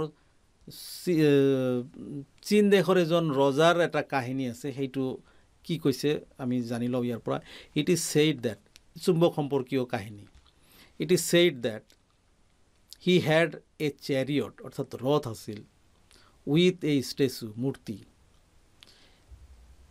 চীনৰ ৰজা হোৱাংটিৰ এটা ৰথ আছিল ৰথ নিশ্চয় দেখিছে ঘোঁৰাৰে চালিত। তাত এটা মূৰ্তি আছিল। সেই চেৰিয়েটত বা ঘোঁৰাৰ ৰথ ৰথত ঠিক আছে। Of a lady that could rotate in any direction it had a extended arm অৰ্থাৎ বাহু as if it was শ্বয়িং the way the statue had an interesting property it would rest in such a position that it extended arm always pointed towards south.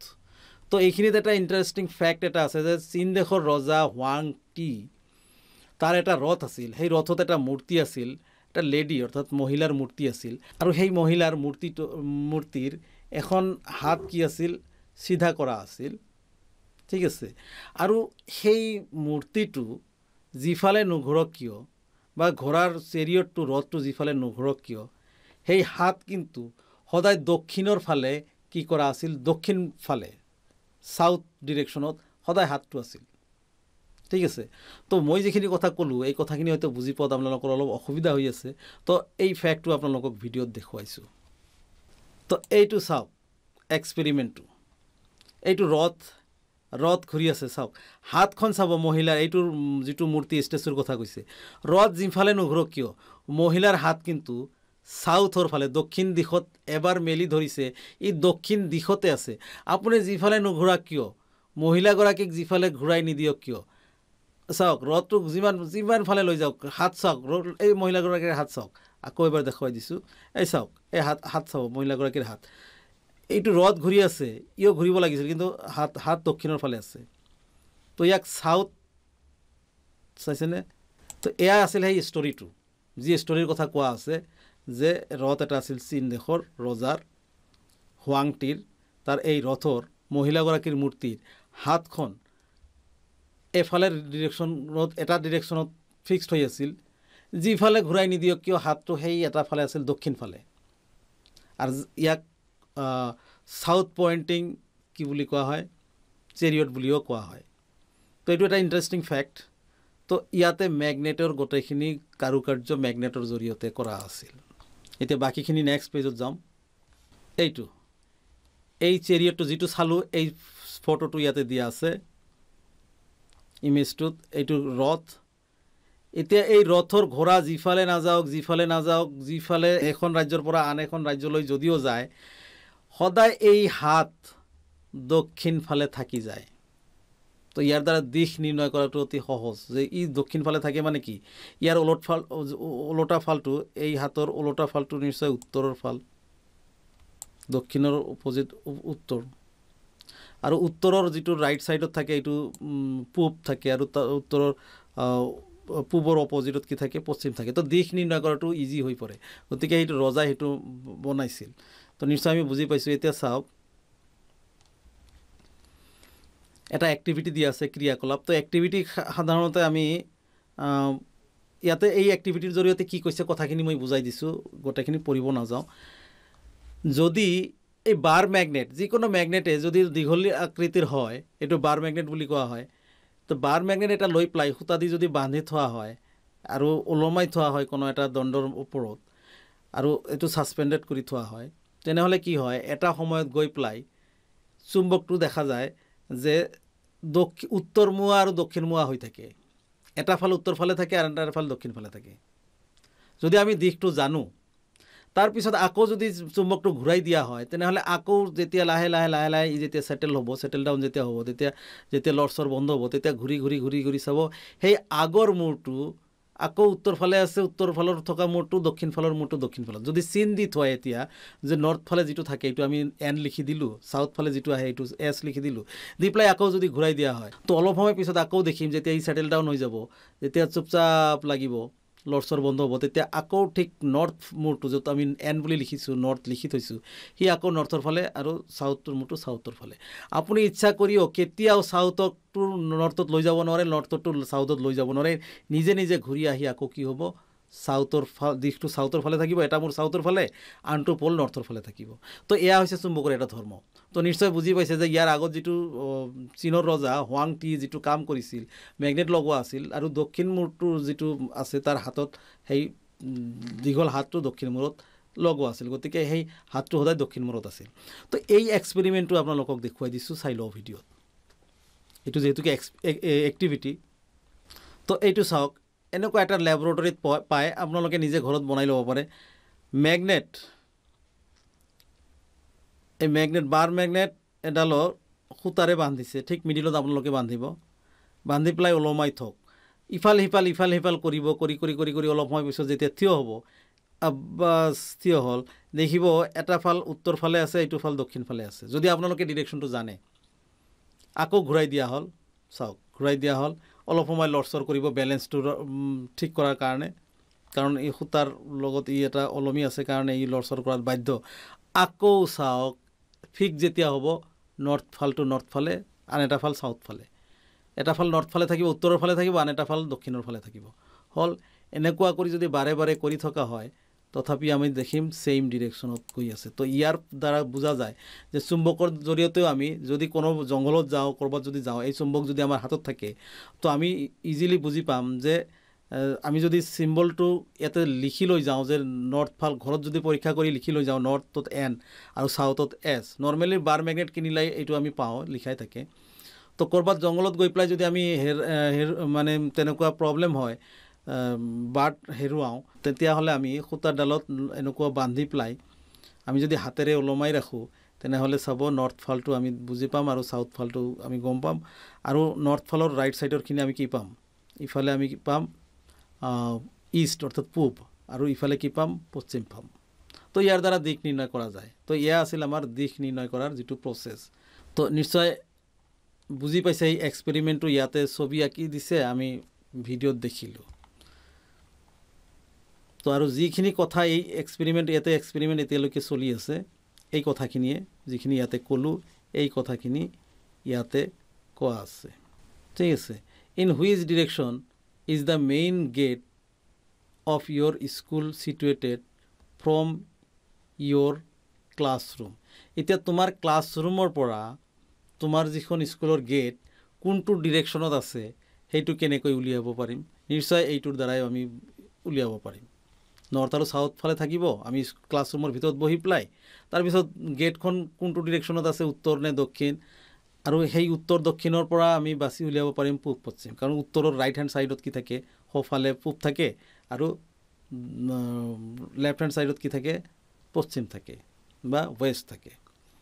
তো নিশ্চয় আমি চুম্বকৰ যে দুটা মূৰ মেৰু কেনেকৈ হ'ল দুটা নৰ্থ পল আৰু চাউথ পল কেনেকৈ হ'ল বুজি পালোঁ। দুটা মেৰু থাকে আমি বুজি পাওঁ পাইছোঁ আগতে যে তাতে আকৰ্ষণীয় চুম্বকীয় আকৰ্ষণ গুণ বেছি ল'ৰ ফিলিংছবোৰ আইৰণ ফিলিংছবোৰ আমি স্প্ৰিংকল কৰাৰ পিছত দেখিছিলোঁ দুটা মূৰত বেছিকৈ লাগি ধৰিছে। অৰ্থাৎ দুটা মূৰ থাকে। আকৌ আমি চুম্বক এডাল সূতাত বান্ধি পেলাই আমি যেতিয়া ওলমাই ৰাখিছিলোঁ তেতিয়া এটা মূৰ উত্তৰ ফালে থাকে এটা মূৰ দক্ষিণ ফালে থাকে। আৰু বাৰে বাৰে এইটো এক্সপেৰিমেণ্ট কৰাৰ পিছত আমি দেখিছিলোঁ যে উত্তৰ ফাল মেৰুটো সদায় উত্তৰ ফালে থাকে দক্ষিণ মেৰুটো সদায় দক্ষিণ ফালে থাকে। তো ইয়াৰ দ্বাৰা বুজা যায় যে দুটা দিশ থাকে যে উত্তৰ মেৰু আৰু দক্ষিণ মেৰু। হ'ল এতিয়া আহক আমাৰ নেক্সট যিটো টপিকছ আছে আমি চাম page number one hundred twenty ফাইভত তো ইয়াতে আমাৰ যিটো এক্সপেৰিমেণ্ট অলপ আগতে কৰিলোঁ চুম্বকৰ দণ্ড এডাল আমি ওলমাই ৰাখিলে নৰ্থ আৰু চাউথ কৰিব পাৰোঁ। ঠিক সেই চুম্বকীয় এই গুণটো লৈ পেলাই এটা নতুন যন্ত্ৰ আৱিষ্কাৰ কৰিছিল সেইটোৰ নাম আছিল চুম্বক শলা যাক কম্পাছ বুলি কোৱা হয় ঠিক আছে? মেগনেটিক কম্পাছ মেগনেটিক কম্পাছৰ জৰিয়তে। এতিয়া দণ্ড এডাল লৈ পেলাই চুম্বকীয় দণ্ড চুম্বক এডাল লৈ যায় সূতাত বান্ধি লৈ পেলাই ফুৰাতকৈ যদি তেনেকুৱা এটা বস্তু আমি হাতত ৰাখোঁ যে মানে নিজে নিজে এটা সৰু বস্তু যাতে হয় এইটো চাওক এইটো এইটো এটা কম্পাছ বনালে ইয়াতে চাওক যে দুটা মূৰ থাকে তাৰে এটা মূৰ দক্ষিণ ফালে আনটো মূৰ উত্তৰ ফালে থাকিব সদায় থাকিব। তো ইয়াতে ঘড়ীৰ নিচিনাকৈ কিছুমান ডিৰেকশ্যন ছেট কৰা আছে যে উত্তৰ মূৰটো উত্তৰ মূৰত কৰাৰ পিছত দক্ষিণ মেৰুটো কোনফালে থাকে নিজে নিজে যোৱাৰ পিছত বাকী আমাৰ ডিৰেকশ্যনটো আমি কোনটো ডিৰেকশ্যন বিচাৰি উলিয়াম তাতে ইয়াৰ পৰা আমি বিচাৰি পাওঁ। তো এই এই এক্সপেৰিমেণ্টটো মই আপোনালোকক ভিডিঅ'ত দেখুৱাই দিছোঁ। তো এয়া চাওক এটা কম্পাছ মেগনেটিক কম্পাছ বুলি কোৱা হয়। ইয়াতে এটা নিডিল আছে। এই নিডিলৰ এটা মূৰত এইটো চুম্বকে দিব বনোৱা এটা মূৰ ৰঙা কালাৰ আছে আনটো বগা। ৰঙা মূৰটো নৰ্থ পল বুলি কোৱা হয়। তো চুম্বকে চুম্বকেতো সদায় নৰ্থৰ আৰু চাউথৰ ফালে থাকিবই। তো সেইমতে ইহঁতক দাগ দি লৈছে নৰ্থ মূৰটো নৰ্থৰ ফালে চাউথৰটো বগা। তো এতিয়া কি কৰা হৈছে চাওক এটা ঘড়ীৰ নিচিনা বনোৱা হৈছে তাতে নৰ্থ আৰু চাউথ লিখাৰ পিছত নৰ্থৰ ৰাইট ছাইডত বা ওপৰৰ ফালে কি থাকে ইষ্ট থাকে তাৰ ওপৰৰ অপজিটত ৱেষ্ট থাকে। আৰু মাজত কিন্তু any north east south east south west north west এনেকুৱা ধৰণৰ ডিৰেকশ্যনবোৰ থাকে। তো এতিয়া যদি কম্পাছটো বেলেগ ক'ৰবাত ফালেও ঘূৰি থাকে তো আমি ৰঙা মূৰটো ঘূৰি ঘূৰি কি কৰিব পাৰোঁ এইটো চাওক ভিডিঅ'টো দেখি লওক বুজি পাব। বৰ্তমান নৰ্থ আৰু চাউথত হৈ আছে। নিডিলটো নৰ্থত ফিক্স কৰা আছে। যদি আমি ঘূৰাই দিওঁ এতিয়া নিডিলটো চাওক। নিডিলটো ঘূৰাই দিয়া হৈছে। কিন্তু কাটা কিন্তু ঘূৰা নাই। যিটো এইটো আকৌ ঘূৰি আহি পেলাই। আগত য'ত আছিল নৰ্থ মূৰটো নৰ্থৰ ফালে ই কিন্তু চেঞ্জ হোৱা নাই। ঠিক আছে চাওক। তো এইটোৰ জৰিয়তে পুৰণি কালৰ পৰাই প্ৰাচীন কালৰ পৰাই নাবিকসকলে ইয়াক ব্যৱহাৰ কৰি আহিছে ডিৰেকশ্যন বা দিশ নিৰ্ণয় কৰাৰ কাৰণে। সাগৰ বা হাবিত যেতিয়া যোৱা হয় তেতিয়া আমি আকাশখন দেখা নাপাওঁ উত্তৰ দক্ষিণ বুজি নাপাওঁ তেতিয়া এই কম্পাছৰ জৰিয়তেহে সেই দিশটো নিৰ্ণয় কৰিছিল। তো এতিয়াও এই ইয়াক ব্যৱহাৰ কৰা হয়। আৰু এতিয়া এই এইটো সহজলভ্য যদি কেতিয়াবা আপোনালোকে ক'ৰবাত এডুকেশ্যনেল টুৰত যায় ছায়েঞ্চ মিউজিয়ামত গুৱাহাটী ছায়েঞ্চ মিউজিয়ামত পোৱা যায় বিভিন্ন ধৰণৰ মেগনেট পোৱা যায় এইটোও পোৱা যায় মই এটা কিনি ঘৰত ৰাখিছোঁ ইতিমধ্যে।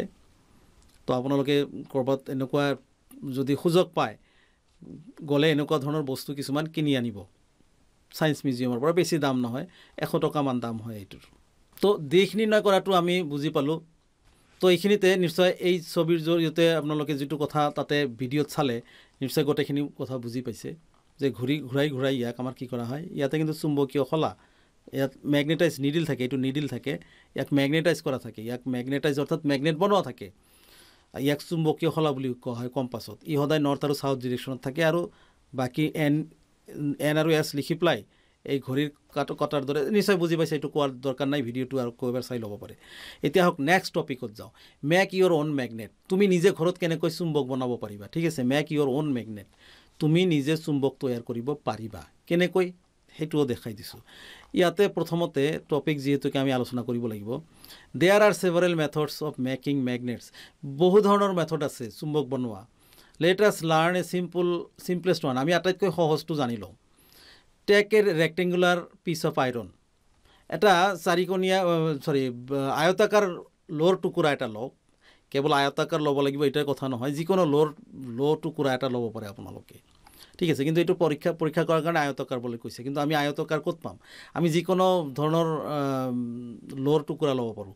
নিডিল এটা বেজি ল'ব পাৰোঁ। ঠিক আছে? তো তাৰপিছত কি কৈছে? Take a rectangular আয়তকাৰ piece of iron. Place it on a টে অন দ্য টেবুল। টেবুলৰ ওপৰত ৰাখক। Now take a bar magnet. Place one of its pole near the edge of bar iron তো ই এটা মূৰত মেগনেট এটা লওক আৰু আপোনাৰ যিটো আয়তাকাৰ যিটো ল' টুকুৰা লৈছে সেই ল' টুকুৰাটো ইয়াতে টেবুলত ৰাখক। তাৰপিছত এই চাব ধৰি লওক এইটো মোৰ বাৰ মেগনেট এটা মেগনেট মই আপোনালোকে মেনেজ কৰিব পাৰে কিনিব পাৰে এইটো অনলাইন অৰ্ডাৰ দিলেও বাৰ মেগনেট আহি যাব। তো ল'ৰ টুকুৰাত বাৰ মেগনেটৰ এটা মূৰ আপোনালোকে ধৰক এনেকৈ পাৰিলে নৰ্থ পলটো ধৰিব। ধৰি পেলাই কি কৈছে ইয়াতে? Move it along the length লাম দীঘলে এনেকৈ টানি থাকক। ঠিক আছে এনেকৈ টানি থাকক। এনেকৈ এনেকৈ নঘঁহিব এনেকৈ ঘঁহিলে কিন্তু নহ'ব। খেলি মেলি লাগি যাব। এতিয়া আপোনালোকে মই কৈছোঁ ল'ৰ আয়তাকাৰ হ'ব পাৰে বা ল'ৰ টুকুৰা হ'ব পাৰে বা বেজি হ'ব পাৰে এটা মেগনেট লৈ পেলাই এনেকৈ টানিব। এনেকৈ এফালৰ পৰা এইটা এইটো মূৰৰ পৰা এইটো মূৰলৈকে এক শেষলৈকে টানিব। আকৌ এই প্ৰথমৰ পৰা আনি আনি আনি আনি শেষৰ ফালে আনি থৈ দিল। আকৌ ইফালে এনেকৈ লৈ গ'ল। ঠিক আছে এনেকৈ টানি থাকক। তো এইখিনি কথা ইয়াতে কোৱা হৈছে এইটো পৰীক্ষাটো দিয়া আছে। এনেকৈ প্ৰায় কিমানবাৰ কৰিব দিছে? ত্ৰিছৰ পৰা চল্লিছ বাৰ চাওক যিখিনি কথা তাতে কৈছে এইটো। দেখিব এই টুকুৰাটো কি হৈ গৈছে যিটো ল'ৰ টুকুৰা আছিলে আপোনালোকে তাৰপিছত ওলোটাই লওক। এনেকৈ ত্ৰিছ চল্লিছ বাৰ এটা মূৰ কৰাৰ পিছত এটা ফাল কৰাৰ পিছত এই যে ল'ৰ দণ্ডডাল আছে আয়তাকাৰ আজিকালি গ্ৰিলৰ যিটো প্লেট এইটো কিন্তু বেষ্ট হ'ব এইটোৰ কথাই কৈছে। গ্ৰিল বনোৱা যিটো সৰু সৰু পাত্তি পায় সেই পাত্তিটো এটা টুকুৰা লৈ আহি পেলাই যিটো গ্ৰিল বনোৱা যিটো পাত্তি পায় সৰু এটা টুকুৰা লৈ পেলাই যদি আপোনালোকে এনেকুৱা কাম কৰে মেগনেটৰ জৰিয়তে তেনেহ'লে এই পাত্তি যিটো আছে এই পাত্তিটো আমি লোকেল ভাষাত কৈছোঁ এইটো এই ল'ৰ পাত্তিডাল কি হৈ যাব? মেগনেট হৈ যাব। ঠিক আছে। তো আপোনালোকক মই এইটো কি কৰিছোঁ এক্সপেৰিমেণ্টটো ভিডিঅ'ত দেখুৱাই দিছোঁ। এইটো চাওক। এইটো লাহে লাহে দেখুৱাই দিছে। লাহে লাহে দেখুৱাই দিছে এইটো টানিলে। আকৌ দাঙি পেলাই ইটো মূৰৰ পৰা টানি লৈ লৈ লৈ লৈ এটা মূৰৰ পৰা চাওক নৰ্থ নৰ্থ পলটোক লৈছে। এটা মূৰৰ পৰা আনটো মূৰ লৈ লোৱাৰ চেষ্টা কৰিব শেষলৈকে। এনেকৈ ৰিপিট কৰি থাকক ত্ৰিছ চল্লিছ বাৰ। ঠিক আছে তাৰপিছত এইটো কি হ'ব? ঘূৰাই ল'ব ওলোটাই ল'ব ওলোটাই লৈ আকৌ এবাৰ আপোনালোকে এনেকৈ কৰি থাকক। ঠিক আছে শেষত আপোনালোকে কি পাব? যে দেখা যায় এনেকৈ ত্ৰিছ চল্লিছ বাৰমান কৰাৰ পিছত দেখা যায় যে এই যিটো আইৰণৰ টুকুৰা আছিল এইটোক যদি এতিয়া আপোনালোকে ল'ৰ সৰু সৰু নেইল ঠিক আছে লৈ আহি আকৰ্ষণ কৰিব টানি ধৰিব। ঠিক আছে এই ল'ৰ পাতিটো আৰু এটা এক্স এক্সপেৰিমেণ্ট এনেকুৱা দেখুৱাই দিছোঁ। এইটো চাওক এইটো এটা চেফটি পিন ল'ব পাৰে আৰু বেজী। বেজীয়ে কিন্তু বৰ্তমানে আকৌ এবাৰ চাই লওক বেজীয়ে কিন্তু ইয়াক আকৰ্ষণ কৰা নাই।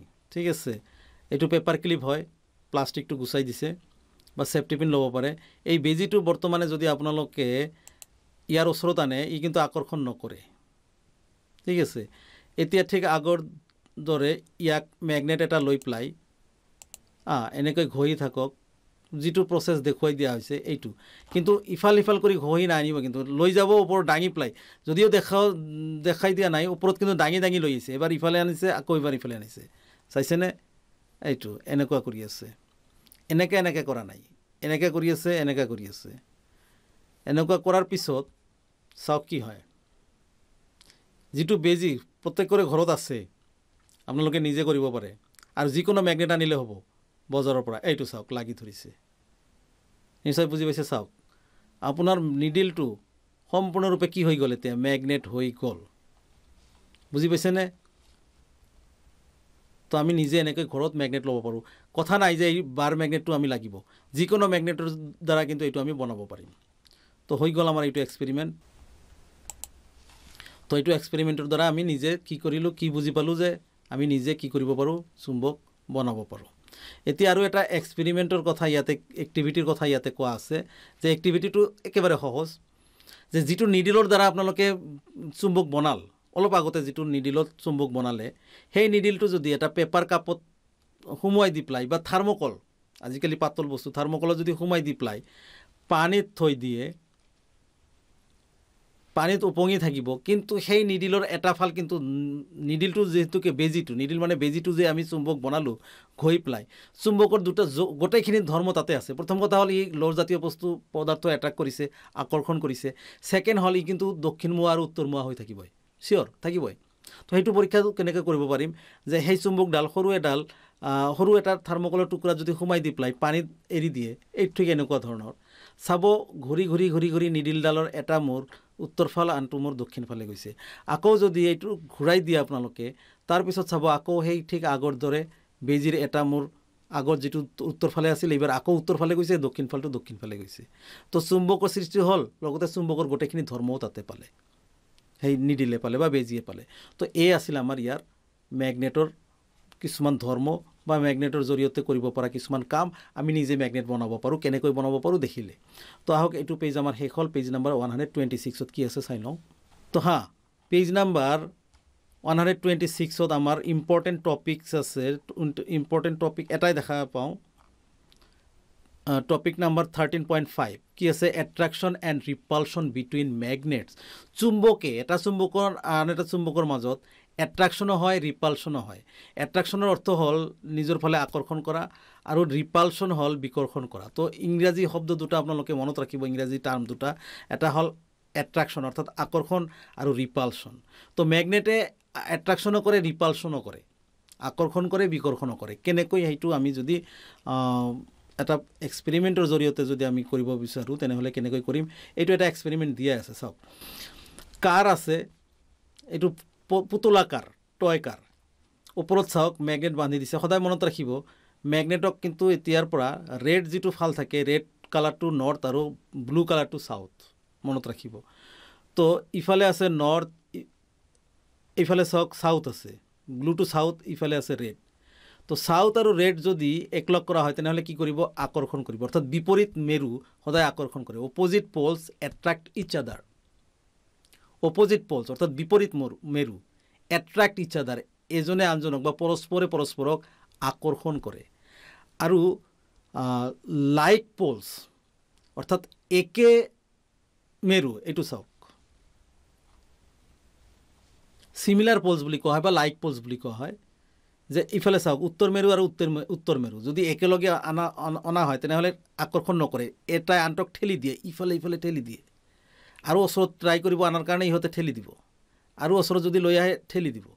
ইয়াক ৰিপালশ্যন বুলি কোৱা হয়। লাইক পলছ বা চিমিলাৰ পলছ কি কৰে? পৰস্পৰে পৰস্পৰক বিকৰ্ষণ কৰে। বিপৰীত মেৰুৱে উত্তৰ আৰু দক্ষিণে আকৰ্ষণ কৰে। উত্তৰে আৰু উত্তৰে বিকৰ্ষণ কৰে। আনিলেও দূৰত যাব আনিলেও দূৰত যাব। ঠিক আছে? তো আমি এইটো এটা পৰীক্ষা আছে ভিডিঅ' আছে ভিডিঅ'ত দেখুৱাই দিছোঁ। তো ইয়াতে চাওক দুখন কাৰ আছে কাৰ এ আৰু বি অঁ কাৰ এত মেগনেটৰ টুকুৰা মেগনেট ৰখা হ'ল এটা দণ্ড মেগনেট বাৰ মেগনেট কাৰ বিটো ৰখা হ'ল। চাওক কি কৰা হৈছে। ইফালে চাউথ ইফালে চাউথ ব্লু কালাৰটো কিন্তু চাউথ সদায় মনত ৰাখিব। এইটো য'তে নাযাওক কিয়? পৃথিৱীৰ সকলো ঠাইতে এইটো আজিকালি এটা চিম্বল হৈ গৈছে যে নৰ্থ পলটো ৰেড আৰু চাউথ পলটো ইণ্ডিকেট কৰা হয় ব্লুৰ জৰিয়তে। তো চাওক ইফালেও চাউথ ইফালেও চাউথ আপোনালোকৰ মতে কি হ'ব পাৰে এতিয়া? এনেকৈ যাব না এনেকৈ আহিব? উত্তৰ মেৰু উত্তৰ মেৰু বিকৰ্ষণ। ছেইম মেৰু হ'লে বিকৰ্ষণ। চাউথ মেৰু চাউথ মেৰু অৰ্থাৎ চাউথ পল চাউথ পল বিকৰ্ষণ কৰিব। একে মূৰ আছে নিশ্চয় বুজি পাইছে। ইফালে ঠেলিব দুজনে এজনে আনজনক ঠেলি দিব এতিয়া। এতিয়া ঠেলি দিব। কাৰণ এইটো আৰু এইটো ছেইম হৈ আছে। ছেইম থাকিলে কথা নাই ঠেলিবই। চাওক ভিডিঅ'টো ভালদৰে। কি কৰিব? যিমানে আপুনি ওচৰত অনাৰ চেষ্টা কৰিব নিজে নিজে দূৰত যাব। যিমানে ওচৰত অনাৰ চেষ্টা কৰিব ই নিজে নিজে দূৰত যাব। ঠিক আছে? এতিয়া যদি চেঞ্জ কৰা হয় নৰ্থ পল আৰু চাউথ পল কৰা হয় কি হয়? চাওক ইফালে নৰ্থ আছে চাউথ পল আছে। ওচৰত যেতিয়া আনিম তেতিয়া কি হ'ব? অঁ টানি আনিলে এটাই আনটক। আকৰ্ষণ কৰিলে। তো এইখিনি কথা মনত ৰাখক যে opposite poles of magnets attract each other and similar poles of magnet repels each each other repels মানে বিকৰ্ষণ। তো এই পৰীক্ষাৰ দ্বাৰা আমি যিটো এক্টিভিটি আছিল তাতে বুজি পাইছোঁ। তো এই কথাখিনি যিখিনি আমি চালোঁ বা আলোচনা কৰা হ'ল গোটেইখিনি ইয়াতে দিয়া আছে। তো আমি ডিটেইলছ লাইন বাই লাইন পঢ়াৰ সময় নাই কাৰণ এনেই ভিডিঅ' বহুত দীঘল হৈ গৈছে। আমি নেক্সট পেজত কি আছে সেইখিনি চাই লওঁ। অঁ নেক্সট পেজত একচুৱেলি ইমান কিছুমান টপিকছ আমাৰ ইম্পৰ্টেণ্ট টপিকছ ইয়াতে আছে। কি আছে ইয়াতে? এ ফিউ কশ্যনছ কিছুমান কিছু সাৱধানতা চুম্বকীয় কিছুমান চুম্বক সম্পৰ্কীয় কিছু সাৱধানতা অৱলম্বন কৰিবলগীয়া আছে সেইটো কি? যে চুম্বক আমি কিনি আনো যদি আমি চুম্বক কিনি আনো আৰ্টিফিচিয়েল চুম্বকে পাম আমি। সেই চুম্বকবোৰ আমি ভালদৰে যত্ন কৰি ৰাখিব লাগিব। নহ'লে চুম্বকে চুম্বকীয় গুণ হেৰুৱাব পাৰে। কি কি কাৰণত চুম্বকে চুম্বকীয় গুণ হেৰুৱাব পাৰে সেইখিনি কথা আপোনালোকে মনত ৰাখিব কুৱেশ্যন এনচাৰ্ছ আহিব পাৰে। প্ৰথম কথা হ'ল ইয়াতে দিয়া আছে মেগনেটছ লছ দেয়াৰ প্ৰপাৰ্টিজ চুম্বকে চুম্বকীয় গুণ হেৰুৱাব পাৰে। কেতিয়া? ইফ দে আৰ হিটেড যদি গৰম কৰা হয় চাওক গৰম যদি কৰা হয় তেনেহ'লে চুম্বকীয় গুণ নাইকিয়া হৈ যায়। হাতুৰিৰে কোবালে হাতুৰিৰে যদি কোবাই দিয়া হয় তথাপিও কি হয়? চুম্বকে চুম্বকীয় গুণ হেৰুৱাব পাৰে। তো এতিয়া ইহঁতক চুম্বকবিলাকক যধে মধে ৰাখিলেও বেয়া হৈ যাব পাৰে। চুম্বক ৰখাৰ এটা নিৰ্দিষ্ট ধৰণ আছে। চুম্বক ৰখাৰ ষ্ট'ৰ থাকে চৰি চুম্বকৰ কিছুমান চুম্বক ৰখা আহিলা থাকে কাঠৰ টুকুৰা থাকে আৰু লোৰ পাতল ৰল লোৰ পাতি থাকে। তো সেইবোৰৰ মাজত ষ্ট'ৰ কৰি ৰখা হয়। ধুনীয়াকৈ চাওক এইটো ৰাখিছে। দুটা মেগনেট মাজত কি কি আছে? কাঠৰ টুকুৰা আছে আৰু দুফালে পাতল ছফ্ট আইৰণৰ পিচ আছে। এনেকৈ ষ্ট'ৰ কৰি থ'ব লাগে বহুদিনলৈকে লাষ্টিং কৰে। নহ'লে চুম্বক নোহোৱা নষ্ট হৈ যোৱা যোৱাৰ সম্ভাৱনা থাকে। আৰু ইয়াতে চাওক এইবোৰ। অঁ আৰু এটা কথা যে টিভি আমাৰ ঘৰত যিবোৰ টিভি থাকে মোবাইল ফোন থাকে স্পেচিয়েলি মোবাইল ফোনৰ কথা কৈছোঁ দেই ঘৰত যিহেতুকে মোবাইল ফোন আছে বা টিভি আছে আজিকালি এল ই ডি টিভিত মেগনেটৰ সম্ভাৱনা কম বা টেপ ৰেকৰ্ডাৰ আছে বা নিশ্চয় জানে আপোনালোকে যে ঘৰত কি কি ডিভাইচ বা বিশেষকৈ ইলেক্ট্ৰিক ডিভাইচবোৰ যে আছে বা গেজেট যে আছে মেক্সিমাম গেজেটত কি থাকে? আমাৰ মেগনেটছ থাকে। তো সেই মেগনেটছৰ ওচৰত কেতিয়াও ষ্ট্ৰং মেগনেটছ ওচৰত লৈ নাহিব। তেনেহ'লে সেই মেগনেটছৰ মেগনেটিক যিবিলাক বস্তু থাকে ডিভাইচত সেইটো নষ্ট হৈ যায় আৰু আপোনালোকৰ টিভি বা টেপ ৰেকৰ্ডাৰ বা মোবাইল বেয়া হৈ যাব পাৰে কাম নকৰে। তো এইটো এটা ইম্পৰ্টেণ্ট কথা আপোনালোকে মনত ৰাখিব। এই কথাখিনি ইয়াতে কৈ দিছে যে এইবোৰ কি থাকে? এইবোৰত মেগনেট থাকে এইটো ডাঙৰ এটা মেগনেট মেগনেটৰ টুকুৰা হাতত লৈ আহিছে। এইবোৰ মেগনেটিক মেগনেট থকা বস্তুৰ ওচৰত কেতিয়াও মেগনেট আনিব নালাগে। যিবোৰ বস্তু ছাপ'জ ফ্ৰিজ ফ্ৰিজৰ হওক তাৰপিছত বাকী ডিভাইচ যিবোৰ আছে বহুত ডিভাইচ মোবাইলৰ কথাটো কৈছোঁ দেই মোবাইলত কিন্তু মেগনেট থাকে। গতিকে মোবাইলৰ ওচৰত পৰাপক্ষত মেগনেটৰ ডাঙৰ টুকুৰা লৈ নাহিব। মেগ সেইটো বেয়া হৈ যাব পাৰে মোবাইলটো বেয়া হৈ যাব পাৰে। তো এয়া আছিল আৰু চি ডি আজিকালি নাই। চি ডি মেগনেটিক পদাৰ্থ দি বনোৱা ইয়াৰ ওচৰতো মেগনেট আনিলে চি ডিটো বেয়া হৈ যাব পাৰে। তো ইয়াৰ পিছত আৰু নাই আমাৰ কুৱেশ্যন এনচাৰ্ছবোৰ আহিব। তো chapter thirteen fun with magnets অৰ্থাৎ চুম্বকৰ লগত ধেমালি চেপ্টাৰটো আমি যিমান দূৰ পাৰোঁ থুলমূলকৈ বুজি পোৱাৰ চেষ্টা কৰিছোঁ। ইয়াতে গোটেইখিনি বস্তু অলমষ্ট কভাৰ কৰা হৈছে। তাৰ সৰু এটা কথা কওঁ আকৌ যে চুম্বক যদি এটা এটা চুম্বকৰ দুটা মেৰু থাকে মূৰ থাকে এইটো যদি ইয়াতে নাই যদিও জানি লওক যে চুম্বকৰ এটা এটা এডাল চুম্বকৰ দুটা মেৰু থাকে নৰ্থ পল ছাউথ পল এই চুম্বকটো যদি টুকুৰা কৰা হয় ঠিক মিডিলত যদি কটা হয় কাটি পেলাই বা মানে ভাঙি যদি দুটা টুকুৰা কৰা হয় তেতিয়া কি হ'ব? এটা ফল নৰ্থ হৈ থাকিব এটা ছাউথ হৈ থাকিব নেকি? নহয়। তাতে এটা ইণ্টাৰেষ্টিং ফেক্ট আছে যে যি দুটা টুকুৰা হ'ল সেই টুকুৰাতে এটা ছাউথ পল হ'ব এটা নৰ্থ পল হ'ব। দুটা টুকুৰাতে। এতিয়া চাওক সেই টুকুৰাক যদি আকৌ আপুনি টুকুৰা কৰে তাতো সৰু সৰু দুটা টুকুৰা হ'ব। সেই সৰু দুটা টুকুৰাতে আকৌ এটা নৰ্থ পল হ'ব অট'মেটিকেলি আন এটা কি হৈ যাব? ছাউথ পল হৈ যাব। তো এনেকৈ এটা এইটো এটা ইণ্টাৰেষ্টিং ফেক্ট আছে। চুম্বুক ভাঙি টুকুৰা কৰিলেও তাতে সদায় দুটা মেৰু অপ অট'মেটিকেলি জেনেৰেট হৈ যায় বা জন্ম হৈ যায়। নৰ্থ পল এটা বা উত্তৰ মেৰু আৰু দক্ষিণ মেৰু অৰ্থাৎ ছাউথ পল নিজে নিজে জন্ম হৈ যায়। তো আমি চেপ্টাৰটো ভালদৰে বুজি লৈছোঁ। নিশ্চয় ইয়াৰ পৰা সৰু সুৰা কুৱেশ্যন আহিলে আমি বুজি পাম যে চুম্বকৰ দুটা মেৰু থাকে দুটা উত্তৰ মেৰু দক্ষিণ মেৰু ইম্পৰ্টেণ্ট বস্তু। চুম্বকীয় পদাৰ্থ কাক কয়? যিবোৰ চুম্বকে আকৰ্ষণ কৰে আৰু যিবোৰ চুম্বকে আকৰ্ষণ নকৰে। তাৰপিছত চুম্বকৰ দুটা মেৰু থাকে উত্তৰ মেৰু দক্ষিণ মেৰু। উত্তৰ মেৰু আৰু চুম্বক এটা ওলমাই থ'লে উত্তৰ মেৰু সদায় উত্তৰ ফালে থাকে দক্ষিণ মেৰু দক্ষিণ ফালে থাকে। আৰু এটা ইম্পৰ্টেণ্ট কথা আমি ইয়াতে শিকিলোঁ যে উত্তৰ মেৰুৰ আৰু দক্ষিণ মেৰু অপজিট মেৰুৱে সদায় আকৰ্ষণ কৰে আৰু চিমিলাৰ অৰ্থাৎ একে মেৰুৱে বিকৰ্ষণ কৰে। আৰু চুম্বকক ষ্ট'ৰ কৰিব লাগে। চুম্বক গৰম কৰিলে চুম্বকীয় গুণ ন- নষ্ট হৈ যায়। হাতুৰি দি কোবালে চুম্বকীয় গুণ নষ্ট হৈ যায়। চুম্বকক ভালদৰে নিশ্চয় বুজি পাইছে কেনেকৈ ষ্ট'ৰ কৰিব লাগে বা ৰাখিব লাগে। আৰু চুম্বকীয় পদাৰ্থৰে নিৰ্মিত যিবোৰ ডিভাইচত বা গেজেটত চুম্বক জাতীয় পদাৰ্থ ইউজ কৰা হৈছে তাৰ ওচৰত কেতিয়াও চুম্বক আনিব নালাগে। সেই যন্ত্ৰটো বা মেচিনটো নষ্ট হৈ যাব পাৰে।